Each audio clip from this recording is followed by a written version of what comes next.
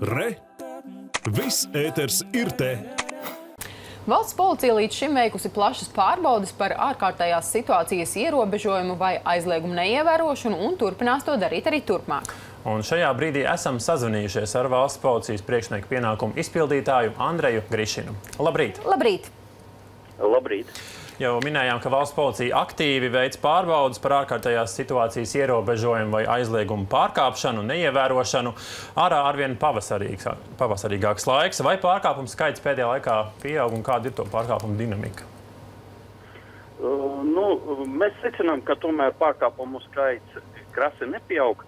Mēs esam jau pārsnieguši dažādu pārbaužu uh, Uh, rezultātā skaitli 50 tūkstoši, bet administratīvo protokolus mēs esam sastādījuši uh, 1300 gadījumos.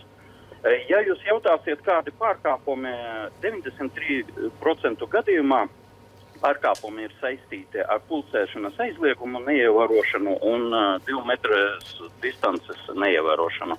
Ir vairāki pārkāpumi uh, kad cilvēki pulcējās, organizē privātos izklaides pasākumus savās dzīvesvietās, mēs arī to fiksējam un cilvēkus sodam. Nu, vidējais uh, administratīvais uh, sots, ko mēs piemērojam, uh, nu, ja cilvēki ir saprotoši un uh, pārkāpumu novērš, tad uh, līdz 50 eiro. Uh, lūk, nu, kā jau uh, iepriekš publiski izskanēja, arī bija piemēroti daudz bargāki sodi, bet tie ir tikai un vienīgi atsevišķi gadījumi. Tikai 7% gadījumos mēs sodījuši esam cilvēkus par to, ka viņi neievēroja pašizolāciju. Un, ja es nekļūdos, tad laikam 11 uh, administratīvās lietas mēs esam nosūtījuši veselības inspekcijai uh, galīga lēmuma pieņemšanai par cilvēkiem, kuri nav ievērojuši uh, karantīnu. Uh, uh, un ir pametuši savas dzīvesvietas, būdami saslimuši vai kontaktpersonas.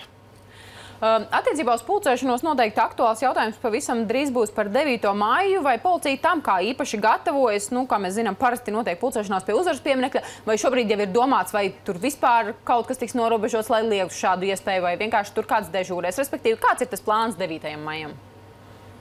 Nu, mēs domājam par policijas darbu un pastiprinātu darba režīmu ne tikai par 9. maiju, 8. maijas mums priekšā ir valsts svētki priekšā un arī uh, laika apstākļi, jūs pareizi pateicāt, pavasarīgs laiks uh, pienākumu brīvdienām, mēs pievērsīsim īpašu uzmanību.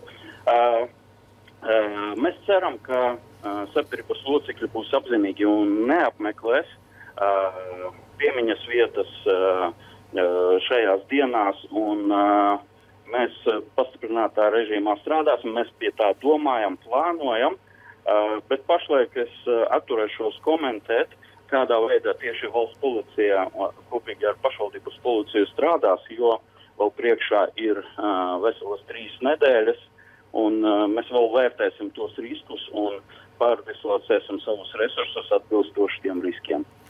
Eh, šobrīd valstī ārkārtas situācija, un jūs jau minējāt, ka dod, tās pārbaudas ir ļoti daudz. Kā, kā ar veselības drošību pašu valsts policijas darbinieku vidū? Uh, ja mēs runājam par pašiem policijas darbiniekiem, pašlaik ar uh, covid diagnozi ir saslimuši uh, pieci valsts policijas uh, nodarbinātie, no tiem četri policijas darbinieki. Tikai vienā gadījumā bija saskarsme, kas saistās ar darba pienākumu izpildu, un tas bija ārvalstu komandējums. 46 darbinieki atrodas pašizolācijā, un kas priecē, mēs neesam konstatējuši tādus gadījumus, kad um, slimības izplatība notiktu darba kolektīvos. Mēs kategoriski aizliedzam cilvēkiem iziet darbā, ja ir jebkādi mazāki simptomi.